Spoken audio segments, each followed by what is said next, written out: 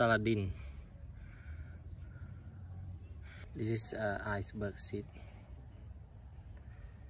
I will sowing to this dry bed directly. Use the small soils to cover all the seed.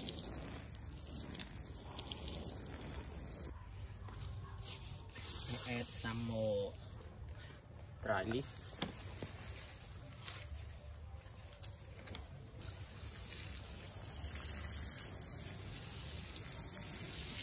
icebergs or saladin the old is uh, one week